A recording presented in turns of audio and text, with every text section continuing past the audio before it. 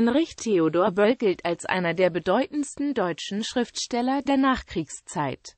Im Jahr 1972 erhielt er den Nobelpreis für Literatur, mit welchem seine literarische Arbeit gewürdigt wurde, die durch ihren zeitgeschichtlichen Weitblick in Verbindung mit ihrer von sensiblem Einfühlungsvermögen geprägten Darstellungskunst erneuernd im Bereich der deutschen Literatur gewirkt hat in seinen Romanen, Kurzgeschichten, Hörspielen und zahlreichen politischen Essays setzte er sich kritisch mit der jungen Bundesrepublik auseinander.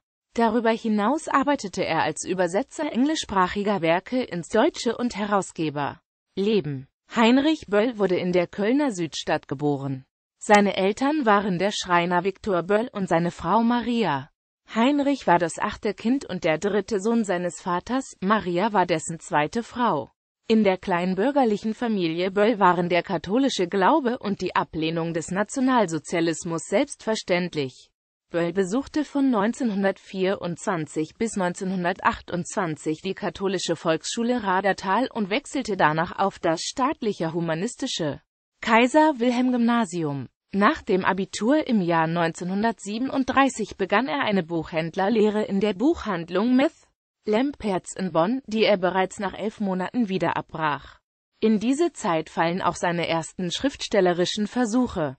Im November 1938 wurde Heinrich Böll zum Reichsarbeitsdienst eingezogen.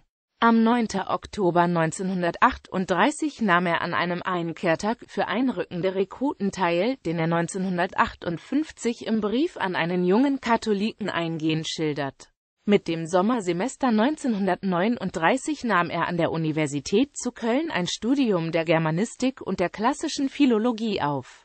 Doch schon im Spätsommer wurde er in die Wehrmacht einberufen. Er blieb Soldat, bis er im April 1945 in US-amerikanische Kriegsgefangenschaft geriet, aus der er im September entlassen wurde.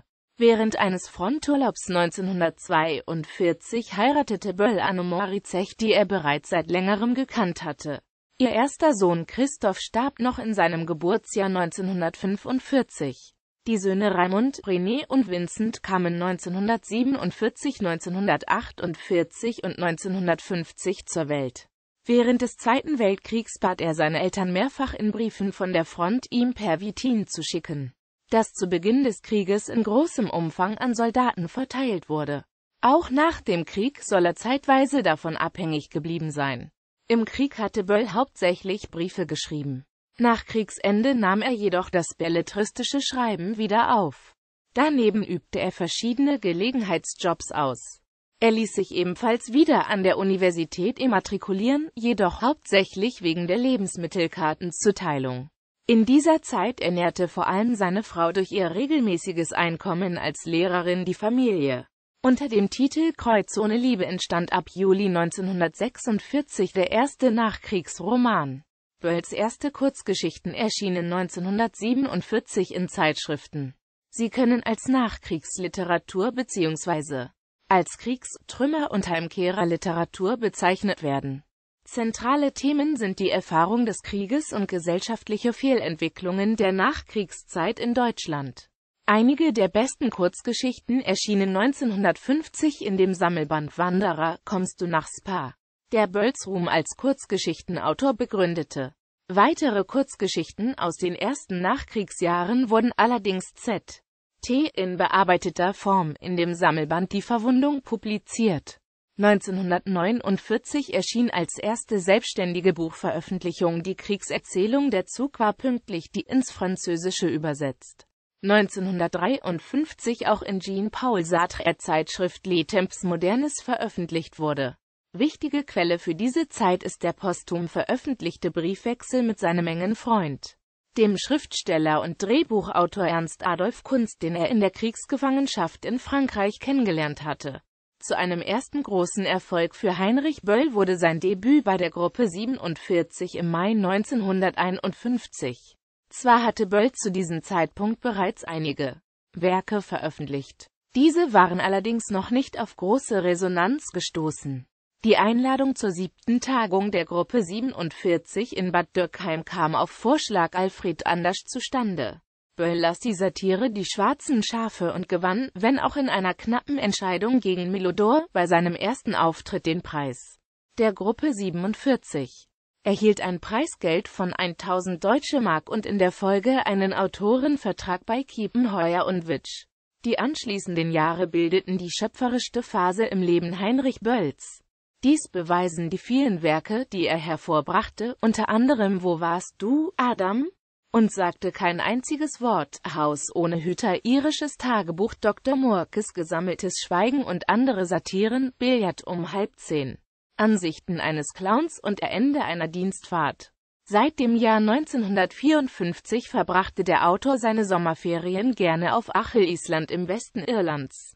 In der Ära Adenauer nahm Böll eine Gegenposition zum restaurativen Zeitgeist ein und galt auch in der Folgezeit als Protagonist der deutschen Linksintellektuellen. Von 1970 bis 1972 war er Vorsitzender des Deutschen, von 1971 bis 1974 auch Präsident des Internationalen Pen-Clubs. Der 1971 erschienene Roman Gruppenbild mit Dame stellt zweifellos den Höhepunkt in Bölls literarischem Schaffen dar.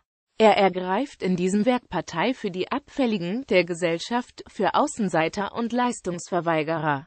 Der Roman wurde zum Bestseller und trug maßgeblich zur Verleihung des Nobelpreises für Literatur an Böll im Dezember 1972 bei. In diesem Jahr 1972 sorgte Böll für einen innenpolitischen Skandal.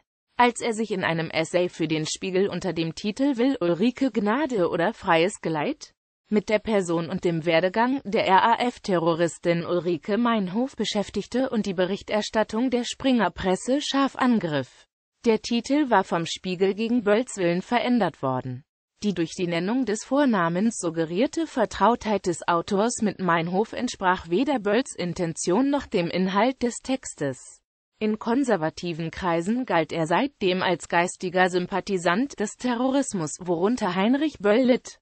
Der CDU-Bundestagsabgeordnete Friedrich Vogel sprach damals von den Bölls und Brückners als intellektuellen Helfershelfern des Terrors da die Behörden es nicht für ausgeschlossen hielten, dass gesuchte RAF-Mitglieder bei ihm Unterschlupf finden könnten, wurde bei ihm am 1. Juni 1972 in Langenbruch eine Hausdurchsuchung vorgenommen, worüber er sich fünf Tage später schriftlich bei Bundesinnenminister Hans-Dietrich Genscher beschwerte.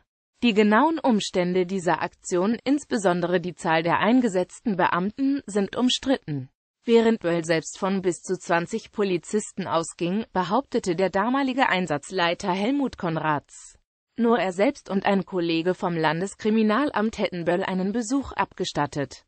Robert Spimann, der sich an diesem Tag im Haus von Böll aufhielt, bestätigte jedoch, mehrere schwer bewaffnete Polizisten gesehen zu haben.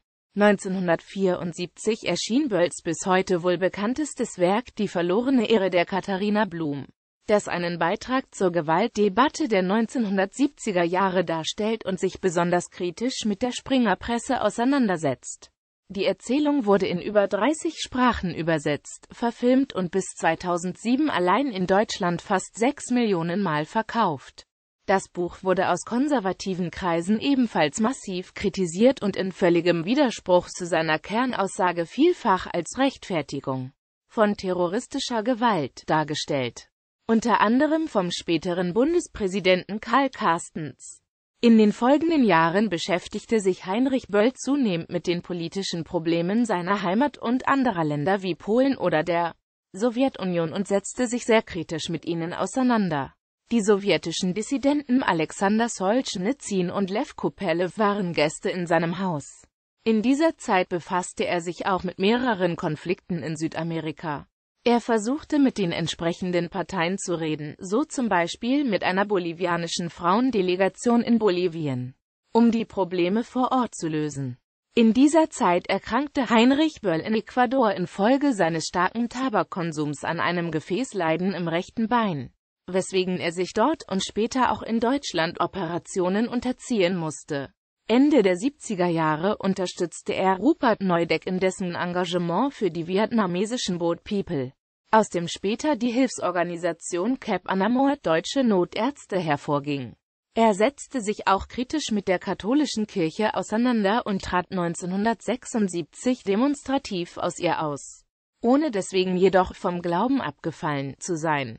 Böll unterstützte die gegen die NATO-Nachrüstung gerichtete Friedensbewegung und nahm 1983 an einer Blockade des Raketenstützpunktes auf der Mutlanger Heide teil. Der 1979 veröffentlichte Roman Für sorgliche Belagerung entstand vor dem Hintergrund des sogenannten Deutschen Herbstes und verarbeitet eigene Erfahrungen des Autors, der wiederholt als Terroristensympathisant verleumdet wurde und polizeiliche Maßnahmen zu erdulden hatte.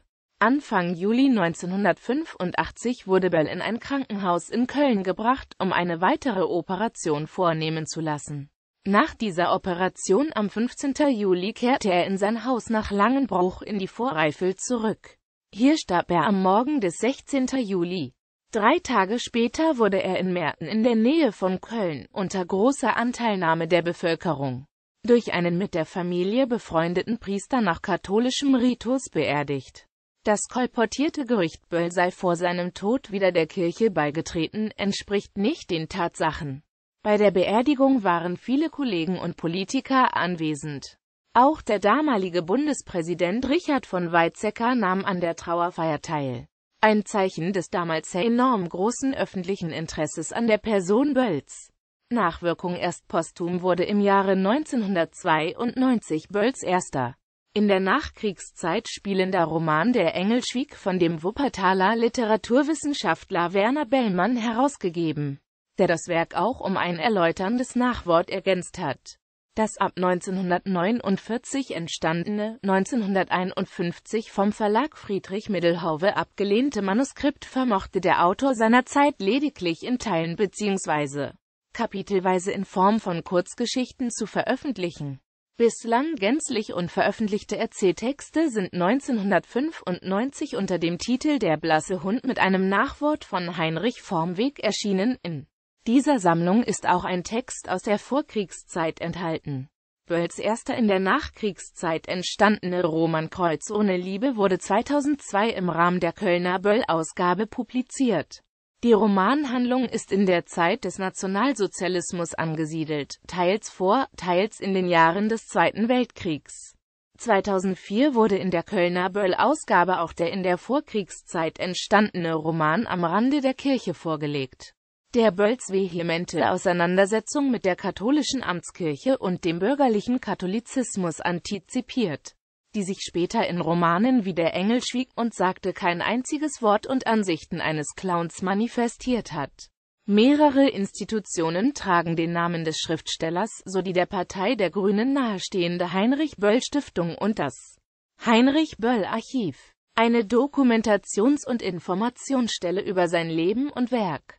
Bölls Ferienhaus auf Achel-Island und sein Haus in Langenbruch dienen als Böll Cottage und Heinrich Böll Haus Stipendiaten als vorübergehende Bleibe. Auch zahlreiche Schulen wurden nach dem Dichter benannt. Von der Stadt Köln wird seit 1985 der Heinrich-Böll-Preis für herausragende Leistungen auf dem Gebiet der deutschsprachigen Literatur vergeben. Auszeichnungen und Ehrungen 1951 Literaturpreis der Gruppe 47 für die schwarzen Schafe, 1953 Deutscher Kritikerpreis, 1953 Förderpreis des Kulturkreises der deutschen Wirtschaft im BDI e.V., 1958 Eduard von der Heydt Kulturpreis der Stadt Wuppertal, 1967 Georg Büchner Preis für das schriftstellerische Gesamtwerk 1972 Nobelpreis für Literatur, 1974 Karl von Ossietzky Medaille, 1974 Mitglied der American Academy of Arts and Letters, 1975 Mitglied der Akademie der Künste, 1982 Ehrenbürger der Stadt Köln, 1984 Mitglied der American Academy of Arts and Sciences, Professorentitel des Landes Nordrhein-Westfalen 2010 Ehrenbürger der Stadt Bornheim, posthum verliehen anlässlich seines 25. Todestages. 2015 Dankbarkeitsmedaille des Europäischen Zentrums der Solidarnosc. Posthum verliehen für seine Unterstützung der Solidarnosc-Bewegung im Kampf für Freiheit und Demokratie.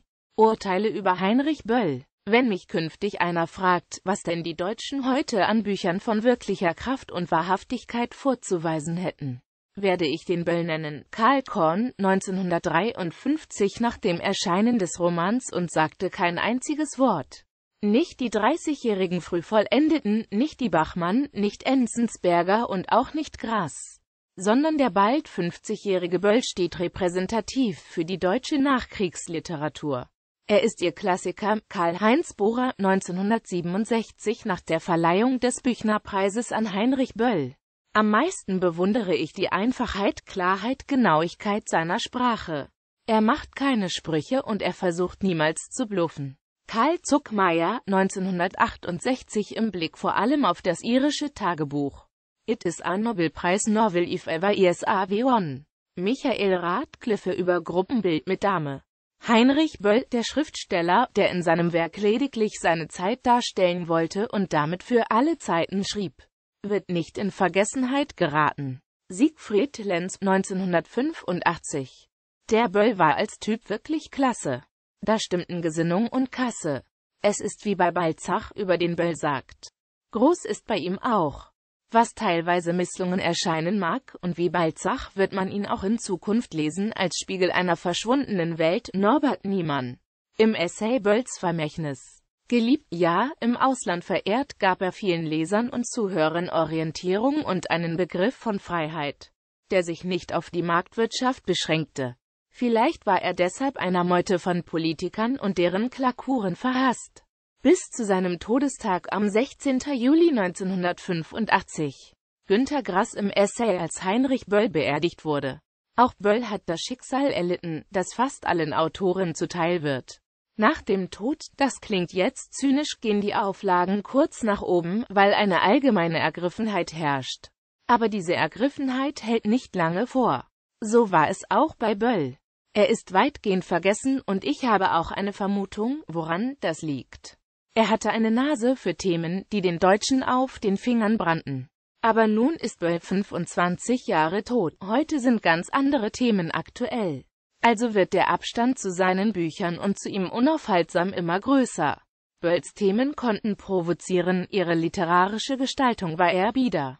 Heute können die Romane Bölls vor allem als Dokumente gelesen werden da der Autor wohl immer mehr Gewicht auf die soziale und gesellschaftliche Seite von Literatur legte als auf ästhetische Aspekte. Siehe auch Ihr neuen Was macht ihr denn jetzt? Schriftsteller erinnern sich an Heinrich Bölls Leben und Werk. Sieben Beiträge anlässlich des 30. Todestages von HBUR. Von Jürgen Becker, Brigitte Kronauer und Dieter Wellershoff. Heinrich Böll Stiftung und Preis. 1997 wurde die Heinrich Böll Stiftung e. V. als Nachfolgerin des Stiftungsverband Regenbogen offiziell gegründet. Der Stiftungsverband war in den 1980er Jahren aus den Stiftungen Bundstift, Frauenanstiftung und Heinrich-Böll-Stiftung hervorgegangen. Die Aufgaben der ersten Böll-Stiftung in Köln bestand einerseits in der Förderung von Bildungs- und Forschungsprojekten, die im Sinne und Geiste des Namensgebers sind, wobei die Themen Migration, Demokratie, Geschlechtergerechtigkeit und Umwelt im Zentrum stehen, andererseits wirkte die Stiftung bei der Sammlung, Edition und Veröffentlichung von Werken Bölls mit. Seit dem Zusammenschluss der Teilverbände des Stiftungsverband Regenbogen unter dem Dach der erneuerten Heinrich-Böll-Stiftung ist der Verein die nahestehende Stiftung der Partei Bündnis 90 Die Grünen. Außerdem wird seit 1985 der Heinrich-Böll-Preis verliehen. Er wird von der Stadt Köln gestiftet und ist mit 20.000 Euro dotiert. Der Preis wird für herausragende Leistungen auf dem Gebiet der deutschsprachigen Literatur verliehen, auch an wenig bekannte Autoren. Ein Gemeinschaftsprojekt der Heinrich-Böll-Stiftung, des Verlages Kiepenheuer und Witsch, der Erbengemeinschaft Heinrich Böll und des Heinrich-Böll-Archivs der Stadtbibliothek Köln trägt den Namen Kölner Ausgabe der Werke Heinrich Böll. Im Zuge dieses Vorhabens wurden alle veröffentlichten und einige unveröffentlichte Texte neu herausgegeben und kommentiert. Einzelbände dieser Ausgabe erscheinen seit dem Jahr 2002 und wurden mit dem Erscheinen des 25. bis 27. Bandes im November 2010 abgeschlossen. Eine von Heinz Ludwig Arnold verfasste kritische Würdigung der Ausgabe erschien am 4. April 2011 unter der Überschrift Kraut und Rüben nach Saatdaten sortiert in der Frankfurter Allgemeinen Zeitung. Der Nachlass von Heinrich Böll wurde im Kölner Stadtarchiv aufbewahrt und bei dessen Einsturz größtenteils stark beschädigt oder vernichtet